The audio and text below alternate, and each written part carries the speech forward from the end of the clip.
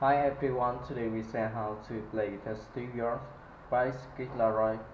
You you can find the full card in the description. First don't see cable. The chords is song are G, D, E, A, and B, M.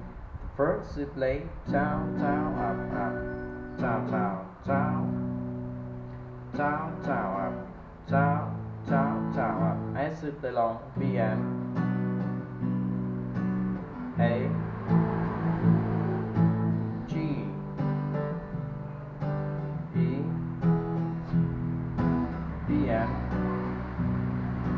A. And G. S is instrument the same way for track to the colors to play. Down, down, down, down, up, up, down, up, down. And it belong B M G D and A.